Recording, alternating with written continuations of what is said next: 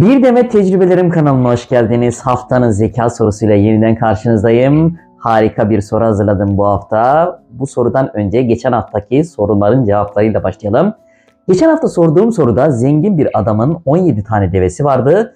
3 tane oğluna şu şekilde paylaştırmak istiyordu. Vasiyet böyle etmişti.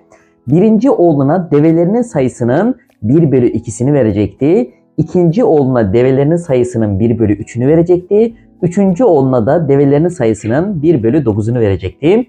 Bu şekilde bölmelerini istemişti. Vefat ettikten sonra 17 deveyi bu şekilde bölmeye çalıştılar ama bir türlü başarılı olamamışlardı. Sonra bir alime gitmişlerdi.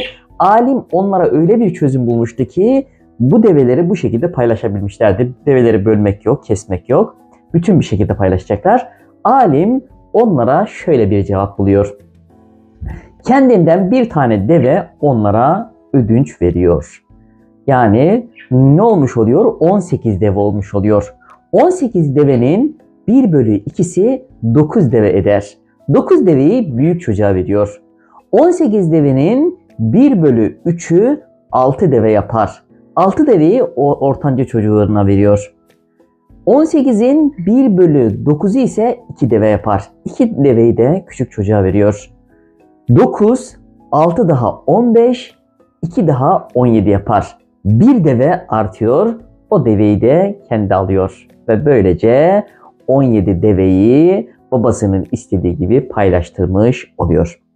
Geçen hafta kısa bir soru sormuştum. Şimdi bu kısa sorunun cevabını yan tarafta birlikte izleyelim. Geçen hafta sorduğum soruda 3 tane sıfırı kullanaraktan 6'ya nasıl ulaşırız diye sormuştum. Bu sorunun cevabını şu şekilde yapıyoruz.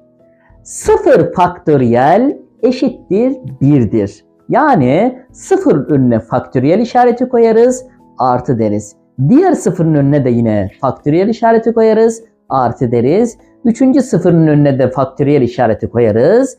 Bunları paranteze alır. Parantezin sonuna tekrar faktöriyel koyarsak bunun, bunun cevabı 6 olmuş olur. 1 artı 1 artı 1 eşittir 3 yapar. 3 faktöriyel de 6 evet. yapar. Bu sorunun İyi linkini günler. ve geçen haftaki sorunun linkini videonun sonuna bırakacağım. Oradan tekrar izleyebilirsiniz. Bu haftanın sorusuna gelelim. Harika bir soru hazırladım. Sorumuz geliyor.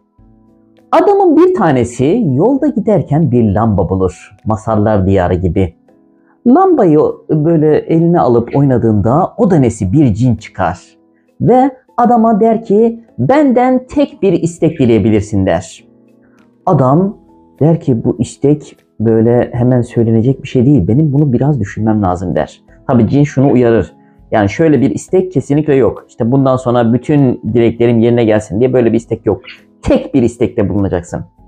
Adam der ki senden müsaade istiyorum eve gideyim ailemle bir konuşayım ondan sonra isteğimi söyleyeyim der. Adam eve gider evde eşi, annesi, babası vardır. Durumu anlatır. Eşi der ki bey der biliyorsun bizim uzun zamandan beri çocuğumuz olmuyor. Sen cinden çocuğumuz olması için bir dilekte bulunur musun der. Adam mantıklı der. Annesi der ki evladım uzun zamandan beri göremiyorum. Gözlerim kör biliyorsun. Gözlerimin açılması için bir dilekte bulunur musun der. Anne sen de haklısın der adam. Babası da der ki evladım biliyorsun biz fakiriz. Zengin olmamız için cinden altın dilesen der. Altın da böyle zengin olsak der. Adam der ki evet baba sen de haklısın der. Ve oradan ayrılır. Ve cinin yanına gider. Yolda giderken düşünür. Eşim haklı, annem haklı, babam haklı. Ben öyle bir şey istemem lazım ki üçünün dileği de yerine getirilsin. Ve cinden öyle bir şey ister ki o isteğiyle hem eşinin isteği olan e, bebek sahibi olur Annesinin isteği olan annesinin gözleri açılır, babasının isteği olan altına kavuşmuş olur. Acaba adam ne istedi? Evet, bu sorunun cevabını bir hafta sonra cumartesi günleri yayınladığım haftanın zeka soruları bölümünde vereceğim. Evet, siz olsanız tek isteğiniz olsa ne dilerdiniz acaba? Yorumlarda bekliyorum. Abone değilseniz abone olur, like atar ve paylaşırsanız memnun olurum. Bir hafta sonra görüşmek üzere. İyi günler.